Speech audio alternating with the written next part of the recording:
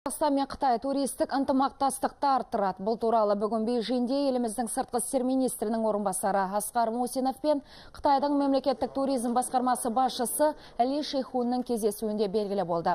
Қос тарап аталмыш саладағы екі елдің байланысын жандандыру мәселелерін талқылады. Атап айтсақ, осы саланы дамыту үшін бірлескен жұмыс тобын құру, қытайлық саяхатшылардың топтық сапарларын ұйымдастыру және Қазақ-Қытай тур операторларының арасында байланыс орнату мәселелері сөз болды. Іргедегі көршіміз бізге Қазақстанда көрсетуге болатын жерлердің бағытын әзірлеу, Қытайша сөйлейтін гидтерді дайындау, қонақ үйлерде хансу тіліндегі телеарналарын қосу жөніндегі ұсыныс тілектерін білдірді.